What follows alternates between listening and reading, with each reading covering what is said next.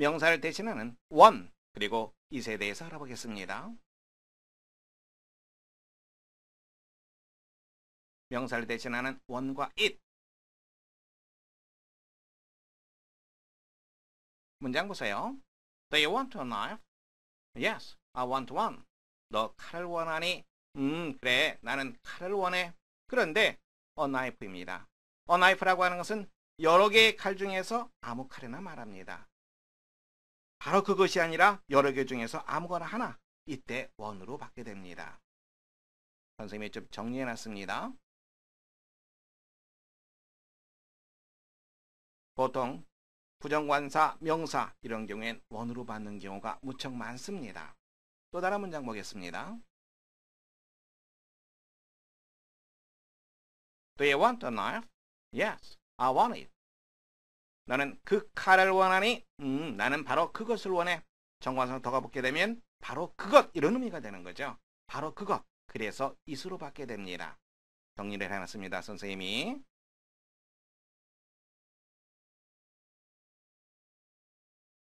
이것은 특정한 것을 나타내죠.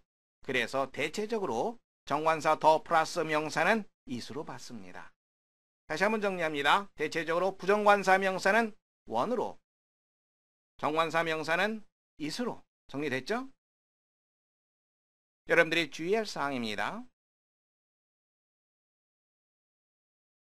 원에는 하나, 둘, 셋 이런 개념이 여전히 있습니다.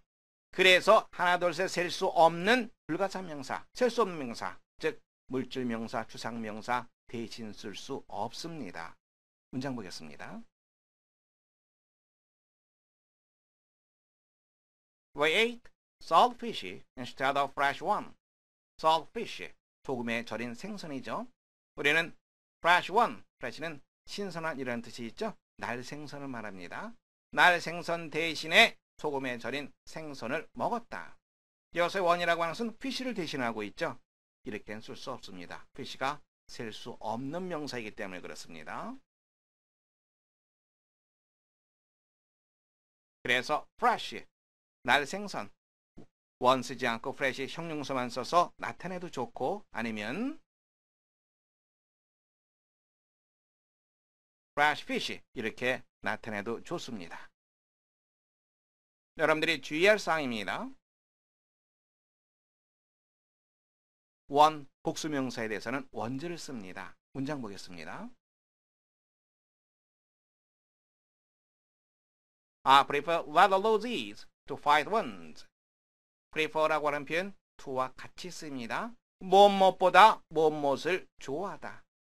fight ones. 여기서 이 원즈라고 하는 것은 loses. 장미를 나타내고 있죠. 복수이기 때문에 원주를 처리했습니다. 나는 흰 장미보다는 빨간색 장미가 더 좋다.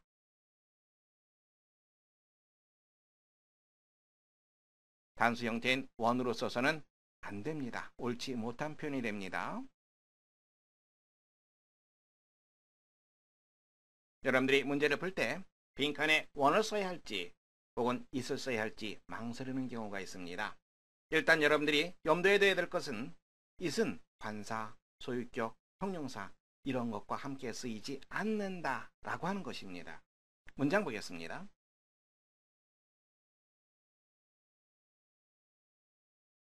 I have a book. 나는 책을 가지고 있다. The book is an expensive it. 이 앞에 형용사 expensive가 쓰였습니다. 이렇게 안 쓰여요. it은 그 앞에 형용사가 올 수 없습니다.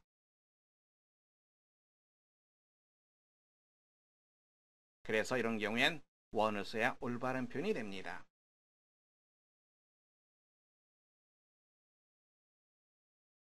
I like an apple. 나는 사과를 좋아한다. There is sweet it on the table. 닥저 위에 달콤한 사과가 있다. sweet it 이런 표현 안 씁니다.